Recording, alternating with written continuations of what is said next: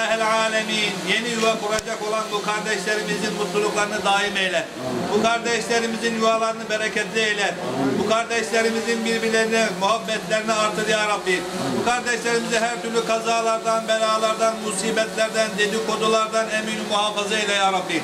Ya ilahel alemin bu kardeşlerimize ileride hayırlı evlatlar ihsan eyle. Bu kardeşlerimizin mutluluğunu daim eyle ya Rabbi. Subhane Rabbike Rabbil İzzeti Amma Yasifun ve Selamun Alel Murselin.